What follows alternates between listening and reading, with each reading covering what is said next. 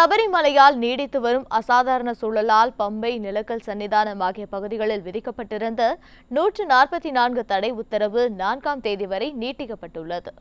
சபரிமலை ஐயப்பன் கோயிலில் அனைத்து வயது பெண்களையும் அனுமதிக்க வேண்டும் என்று உச்சநீதிமன்றத்தின் உத்தரவுக்கு எதிர்ப்பு தெரிவித்து போராட்டங்கள் நடைபெற்று வருகின்றன.